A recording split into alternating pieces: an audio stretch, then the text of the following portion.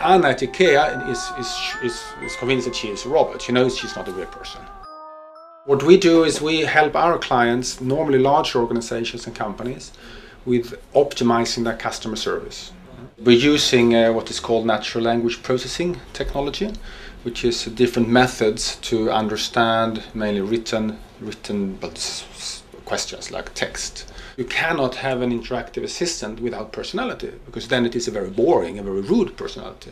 Okay, so what we do as part of the project is to develop the personality. It's, it's, quite quite interesting to create life. This assistant should it be a real person or not? Should it look like a real person or not? And if it looks like a real person, should it know it's a real person or should it know it's a robot? And then we have the Anna at, uh, in England and in Germany is a blonde much more blonde, uh, Swedish, more sort of sexy looking, like that. And when we show that Anna to to Spain or, or the States, I think it's oh, cannot have that. It's too it's too sexy. And we saw a number of occasions where where she has not been able to help the the, the user, and the user has been really upset and say, "You stupid idiot! You can't help me at all." You know, even worse than that. And Sarah's response is that, well, I'm so sorry that I'm not able to help you, but I think that kind of language is a little bit too much. And then we can see the user, oh, I'm, I'm so sorry, I really didn't mean that.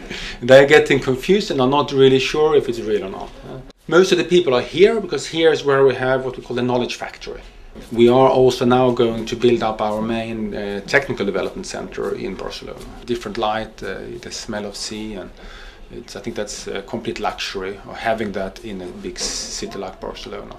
The most important factor for innovation is, is to have a great variety of people.